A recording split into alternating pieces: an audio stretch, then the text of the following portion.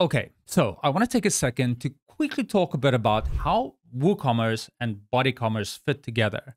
Is BodyCommerce a replacement for WooCommerce? Absolutely not.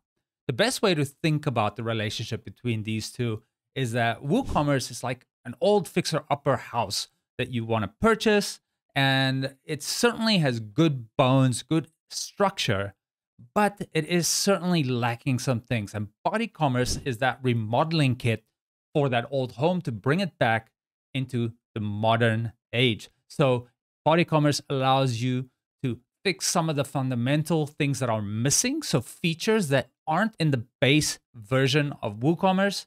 BodyCommerce adds things like the ability to do custom emails, mini carts, Ajax filters, so, so much. BodyCommerce really just exists to give WooCommerce not just a facelift, but also extend the features and using my analogy here, add another bedroom, extend the garage, putting solar panels on the roof, you name it, BodyCommerce is going to be in there to put modern web technologies into your WooCommerce stores that you build within Divi.